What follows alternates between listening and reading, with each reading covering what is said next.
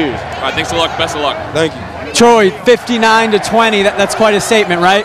Yeah, that's a statement, but I mean, it ain't done yet. You got to come out and prepare every week. So, I mean, that was just one statement. That's just a stepping stone right now. Defensively, what works so well for you guys? So many turnovers. We just believed in each other, and we just all kept fighting. And every time we came to the sideline, we just told each other we fighting for each other, and that's it, really. Do you think they gave up at the end of that game?